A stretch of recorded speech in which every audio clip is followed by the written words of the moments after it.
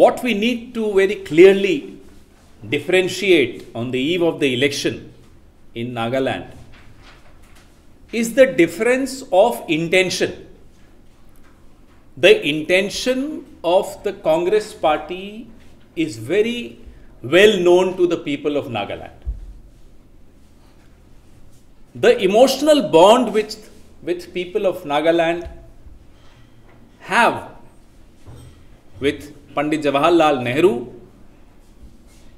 with Mrs. Indira Gandhi, with Mr. Rajiv Gandhi.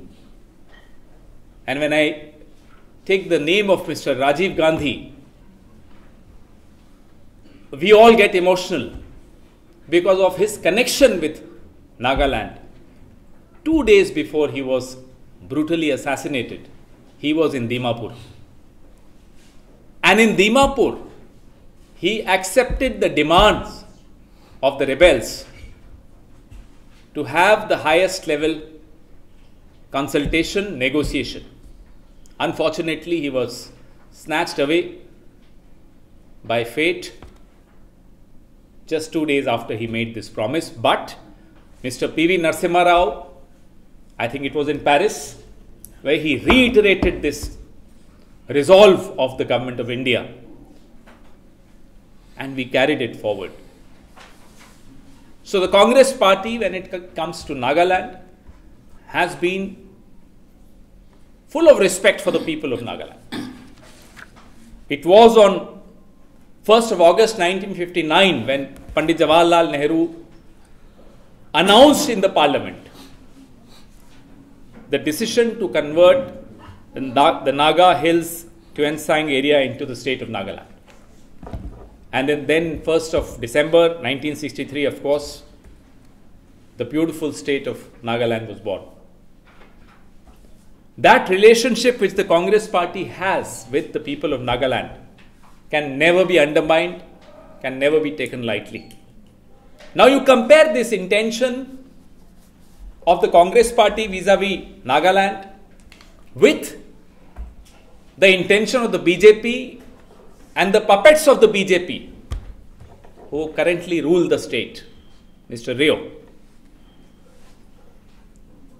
In 2003, Mr. Rio made some promises, did not honor those promises. Issues still remained unresolved because his intention was never to resolve the issues. His intention was to buy time. But who paid the price? The price was paid by the innocent, beautiful, intelligent people of Nagaland. Who stood to gain? Mr. Rio. And for the last eight and a half years, those who control the government of Nagaland sitting in Delhi. So, our manifesto, when you go through the Congress manifesto, Again, our intention, our crystal clear intention can be seen in the manifesto. We are worried about the youth of this state. We are talking about the employment for the youth. We are talking about libraries. We are talking about water supply. I mean, look at the chief minister of the neighboring state, Himanta Biswa Sarma, comes here and gives a certificate to the PHE minister. What use is that certificate? Do they get regular water supply? Let Mr. Himanta Biswa Sarma put his hand on his heart and tell us that he means to give that certificate, that the certificate is well deserved by the PHE minister. No, he does not deserve that certificate. People of Nagaland, people of Dimapur, they don't get regular water supply. The Congress party talks about these basic amenities that people of Nagaland deserve and they should get it. Because that's what we believe in. Governance to us means fulfilling these promises. These are not empty words, not the words of Rio, not the words of Mr. Amit Shah, not the words of Mr. Narendra Modi. These are the words of the Congress party. And our very able leaders here are very ready to be held accountable for every word that is written in our manifesto. They are not running away. They are not afraid because they want to honor these, these promises. We have promised a separate directorate of school education. Of course, Nagaland deserves it. Why should it not be done? We have promised a mini secretariat at Tuensang Sang that helps in easing the interaction of the people of Nagaland with the bureaucracy, with their ministers, with their officers. We have also promised relocation of Duda at Tuensang. Sang. Again, to make life easier. 33% job reservations on the basis of annual vacancies. That's a promise which you will see when we form the government, we'll honor this one.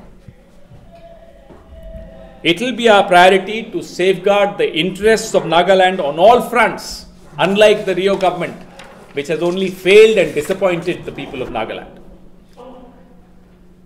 The RO drinking water tanks for villages are a must.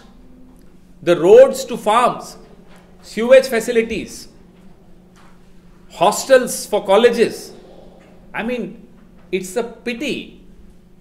You know, if the entire football team of India had only youth, the youth from Nagaland, we will be world champions. I have no doubt about that.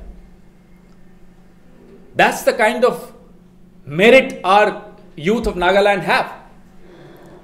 But nobody is bothered. Rio definitely is not bothered. Why should our sportsmen of Nagaland not be given opportunities to play internationally? It's very important, and we'll fight for that.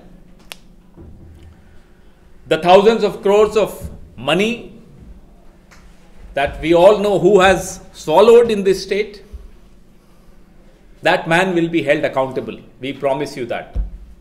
I'll come back again when we have our government and we'll make sure that the guilty are punished and the money which belongs to the people of Nagaland is returned to the people of Nagaland. That's a promise which we are making today. The honest people of Nagaland know who is lying and whose words have value. We are sure that they'll vote responsibly and they'll vote for change. Thank you. Your questions. How do you plan to uh, implement this? Are you uh, are you confident of winning winning the elections, or you are looking long term? We are absolutely confident of winning the elections, forming a government, and delivering good governance to the state of Nagaland. Absolutely confident. People are ready for a change. People want a change. And the change will be brought by the people of Nagaland along with the Congress party. So, with the number of candidates you are fielding, you, are confident that you win? Absolutely, yes. What, what do you think, I mean, has made the Congress to lose ground in Nagaland over the past two, three elections? I think this is not the time to do a post-mortem of what of the past. The people of Nagaland and the Congress party is looking at the future, at a glorious future, a glorious collaboration between each other, so that the youth of Nagaland can get jobs, the women of Nagaland can get jobs, villages can get infrastructure, roads, regular supply, water supply, regular power supply. These are the issues that people are interested in. Nobody is interested in a post-mortem of what, what went wrong when. Of course, as a party, we keep introspections. We do do a lot of fact finding and correct our mistakes and move, move on. I'll add one thing in there. Honestly, you know, in my observation, I think Naga intellectuals have lost in the independent mind to decide the future. Rather, they are slaves of money and power. When you look at the way the candidates were rushing for other political parties which has no presence at all in Nagaland, they did not even stand on one issue, not even one word. But LJP, people have rushed to accept LJP because it is close to the chairs of Modi. I think this LJP and BJP will also finish NDPP. The intent of LJP and NDPP is to eliminate NDPP. In the midst of their fight, I think Congress has the prospect. It is the people of Nagaland who should decide at this moment because if you accept the standing we have given to the people of Nagaland, if the people appreciate our standing for the Nagaland, I think this is a time where you decide to vote for Congress. There is no reason why we should vote for BJP and NDPP or LJP. Do we want to continue in the same situation, remain stagnant? I don't think that is right for any intellectual person.